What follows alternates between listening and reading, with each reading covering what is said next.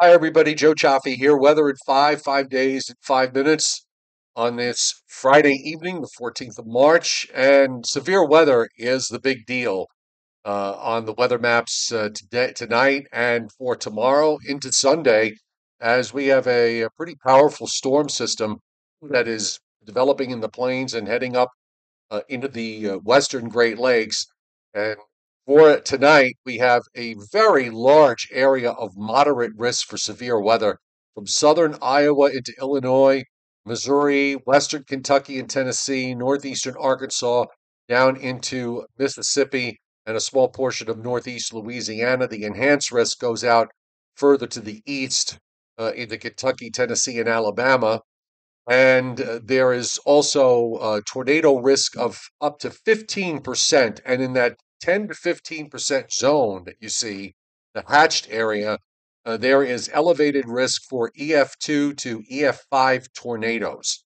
And uh, this is pretty serious stuff, but uh, it actually pales with tomorrow. The Storm Prediction Center, and this is only the third time uh, in the last 25 years that the Storm Prediction Center has done this, putting a high risk for severe weather in their day two forecast, because this is for tomorrow, not tonight. Uh, a high risk across uh, central, uh, from central Mississippi through central Alabama, moderate risk, much larger from eastern portions of Louisiana and southeast Louisiana across uh, much of the rest of Mississippi and Alabama into western Georgia. The enhanced risk, enhanced risk pushes further north into Tennessee. And here, too, uh, we have a, a, very elevated tornado risk, uh, a 30% risk uh, area being indicated for tornadoes. You that is a very very high number. We don't often we rarely see the 30% risk. Maybe once or twice uh, every couple of years it pops up. And I just want to go back. Uh, I just want to give thanks to uh, Timothy Veltman, who's one of my regulars on my subscription platform, who posted this for me. The last t- two times that SPC has put up a slight, a high risk in their day two forecast was for a severe weather event on April 7th of 2006. And you can see where all the activity was uh, in the Tennessee Valley and in parts of the deep south and extending up into the Appalachians. There were 91 tornadoes that were reported. Uh, the other time was on April 14th, 2012, and in this case, it was from West Texas on up through Oklahoma, Kansas, and into parts of Nebraska and Iowa. 153 tornadoes were reported in that particular severe weather event. So it's pretty serious stuff here we're talking about. Uh, tonight's severe weather is beginning to break out now. Uh, and as we look at the HRRR model, you see where it's concentrated there up in Missouri and Iowa and Illinois as low pressure, very intense low pressure, runs up into southern Minnesota.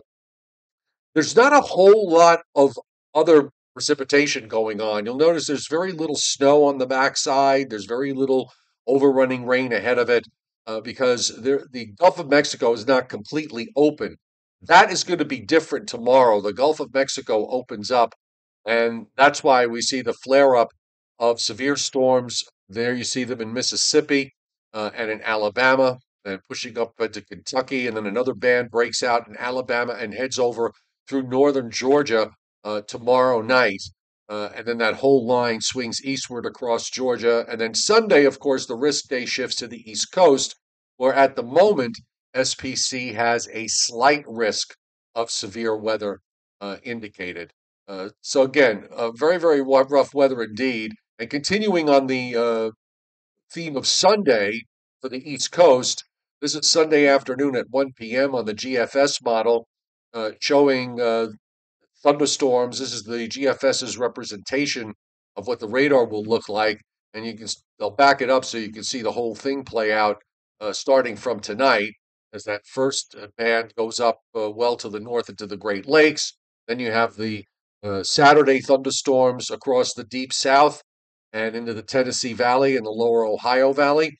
And then from there, it's up and down the Appalachians and along the East Coast, reaching the coast by Sunday evening. and then moving offshore uh, Sunday night into Monday morning with improving weather conditions after that. And for the East Coast, uh, I'll go back to uh, SPC's uh, forecast here uh, for Sunday. Uh, SPC has a slight risk. I think they're going to probably add an enhanced risk, perhaps for areas in Virginia and North Carolina, maybe even into South Carolina. They have a slight risk of severe weather from northern Florida to uh, southern parts of Maryland. Marginal risk uh, has been pushed up further north. Now, they have actually pared this back.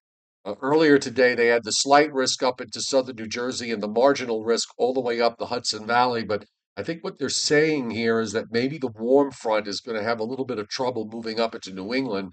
Uh, so they've pared it back for now.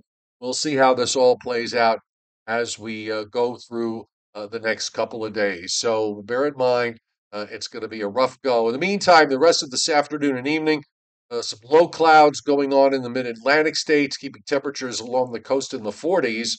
Uh, the Northeast uh, has broken out into some sunshine today. It's been a pretty nice day overall, but expect the low clouds to come in again overnight and tomorrow morning.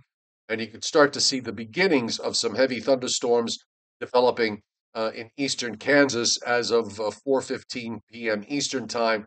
And that's that band for tonight that's going to be swinging through Missouri, Illinois, and Iowa uh, with the, this first round of severe weather.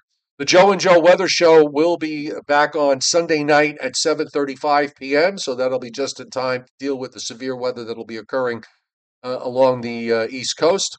We'll see you then.